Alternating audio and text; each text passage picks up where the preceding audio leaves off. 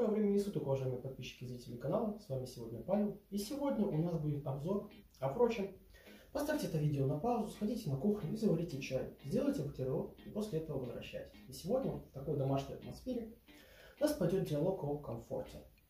Собственно, что такое комфорт? Комфорт – это Emotion V11.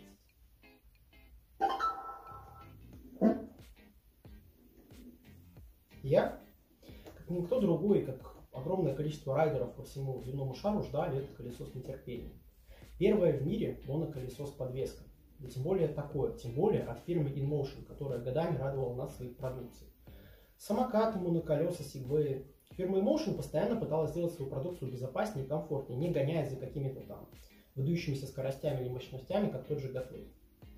Собственно, и сейчас они представили нам свою новинку V11. Колесо, которая даже частично выбивается за их политику. С виду быстрое и мощное это колесо многие заранее считали каким-то ну, банальным, скучным пылесосом. Признаться, я имел в виду, что это но вы знаете, оно меня приятно удивило. Но обо всем по порядку. Начнем с внешнего вида устройства. Футуристический, киберпанковый, как сейчас модно говорить, дизайн. Стильное колесо без каких-то там, знаете, лишних блестяшек и прочего. Лаконичный, английский глаз на фаре, который очень классно вписывается в общий вид колеса, в его дизайн. Здесь расположен индикатор батареи, который находится под такой специальной крышкой. То есть вы его видите, как бы, но он такой немножко размыт. Также здесь находится сигнал Bluetooth. Когда вы подключаете колесо Bluetooth, будет гореть такой маленький синий значок Bluetooth. Тут же у нас находится кнопка. Кнопка фару включает, это гудение, это вентилятор фары, о нем чуть позже. И выключает. Также он включает и выключает само колесо. Позади у нас расположен габаритный огонь, он же стопарь. Большой, яркий, красивый и очень интересно оформленный. Я ни разу не видел таких красивых стопорей на моноколесах. Это, это выдающийся, как мне кажется, параметр данного колеса, потому что он где-то на уровне автомобильного и мотоциклетного он сделает вас на дороге крайне заметным и позволит другим моноколесникам, самокатчикам, а также людям видеть то, что вы, допустим, тормозите. Над ним же ходит специальная резиновая заглушка, которая прикрывает порты зарядки. Да, именно порты. Впервые на моноколесе InMotion у нас находится не один, а целых два порта зарядки. Вот они. Собственно. А одно зарядное устройство позволяет зарядить моноколесо за 7 часов, два, соответственно, за 3,5.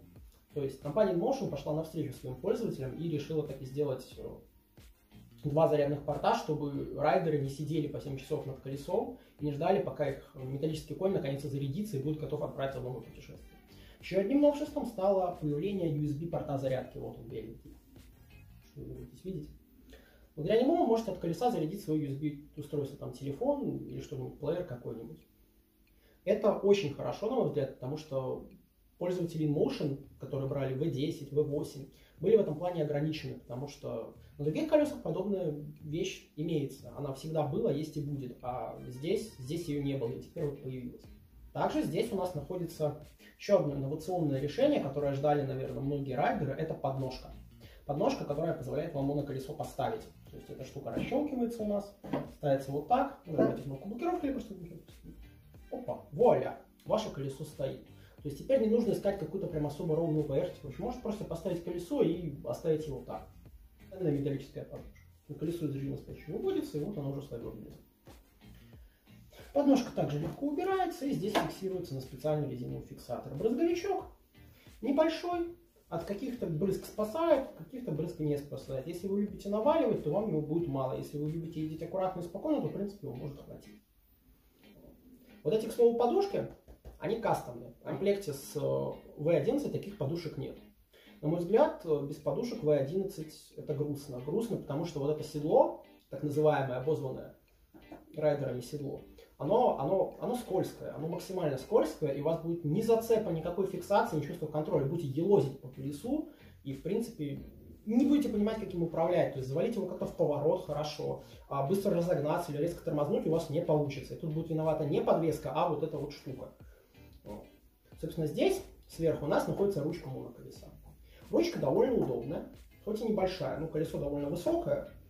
Собственно, у этой ручки все довольно просто. Здесь снизу находится курок, вы его нажимаете, и ручка выходит на рабочее положение. Вот оно так вот. То есть катать колесо можно как и вот так, так и, собственно, вот так. То есть тут разницы никакой, мне, к слову, удобнее катать его вот, грубо говоря, вперед, задом. Собственно, складывается ручка вот так же. Курок зажали, ее опустили, щелк, и ручка там где надо. По внешнему виду, наверное, все. Хотя стоит еще отдельно упомянуть интересную особенность. Здесь у нас под седлом находится контроллер.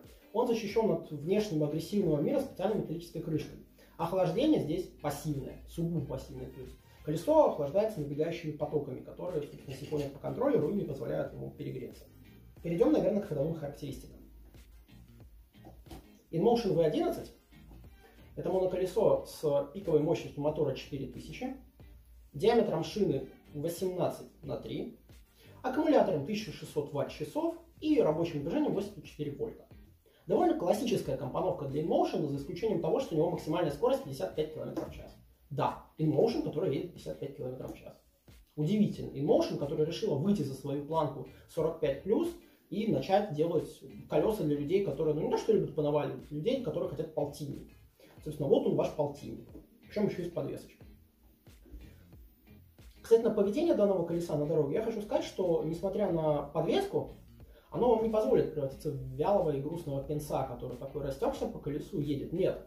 Подвеска предъявляет вам все равно определенные требования как к райдеру. Во-первых, подвеску нужно правильно настроить.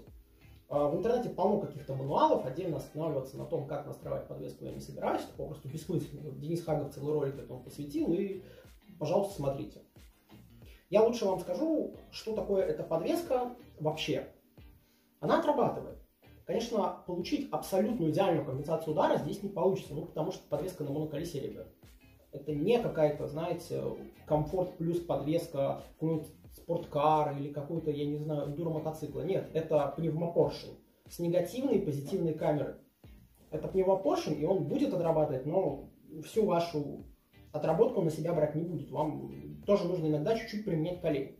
Плюс на некоторых ландшафтных моментах, например, на такой вот достаточно высокой крутой горке, если вы не будете скидывать скорость, если будете вот лететь довольные такие, то может произойти момент, что подвеска спружинит, а вас подкатапультирует. Если вы не словите этот момент коленями, то вы рискуете улететь с колеса. На мой взгляд, это не минус, это просто специфика колеса. Оно, в принципе, довольно особенное. То есть, если сравнивать его с какими-то другими колесами, сравнивать его с тем, на чем я катался, это действительно что-то уникальное. Колеса с подвеской это какой-то совершенно новый experience, который, мне кажется, каждому райдеру нужно испытать для того, чтобы понять, надо или нет, или даже просто для того, чтобы знать, что такое колесо с подвеской. Ввиду того, что колеса с подвеской это какой-то уже совершенно новый, другой уровень комфорта. В плане езды по бездорожью я могу отдельно сказать, что оно идет по оффроуду очень хорошо. Большая 18 на 3 покрышка, тем более открытая почти со всех сторон, позволяет вам легко планировать маршрут, даже если он построен не совсем по дороге. Вы едете и без какого-либо страха понимаете, что ну вот сейчас проеду или не проеду. Плюс в комбинации с подвеской эта штука демпфирует неровности, камни, корни и опять-таки вам комфортнее, приятнее ехать. То есть InMotion не соврал, когда говорил, что это колесо имеет оффроуд потенциал. Да, оно действительно имеет оффроуд потенциал. К слову о камерах и вообще проходимости колеса. У него крайне высокие педали. То есть на сегодняшний день пока что это самые высокие педали в принципе у моноколеса. То есть они проседают под вами, когда вы становитесь на колесо, но они проседают не настолько сильно, то есть есть некая вот амплитуда движения. И за счет того, что эти педали высокие, вы буквально летите. Вы летите над другими людьми, вы летите над моноколесниками, тем более летите над самокатчиками. Вот. У вас огромный простор обзора, во-первых. Во-вторых, у вас ощущение того, что вы действительно парите над землей ну, на расстоянии сантиметров 10. Потому что когда вы высоко, вам уже больше не страшны камни, бордюры, вам не страшно, что вот-вот-вот сейчас проеду и оставлю кусок педали на бордюре. Нет. Вы находитесь на высоте, а это значит, что большая часть низких угроз, там какие-нибудь торчащие из асфальта камни, трубы, оставленные заботливыми коммунальщиками или кем-то еще, они вам больше не страшны. То есть вы едете, и оно пролетает где-то под вами. Как бы я на себе это испытал, когда пролетел над несколькими бордюрами, которые должен был зацепить, но не зацепил. Собственно, колесо меня спасло. И, на мой взгляд, это тоже огромный плюс. Высокие педали – это классно. Конечно, высокие педали немножко смещают центр тяжести, вам нужно немножко привыкать к колесу, но, на мой взгляд, это классно. Кстати, на слову центра тяжести и, в принципе, управляемости колеса, оно восхитительно управляется. Почему? Оно высокое, когда ставите ногу, у вас колено, оно ровно упирается вот сюда. И за счет того, что оно ровно упирается в эту подушку, вы можете коленями его рулить. Также высокие педали позволяют вам очень хорошо его заваливать в сторону, буквально не цепляясь педалями.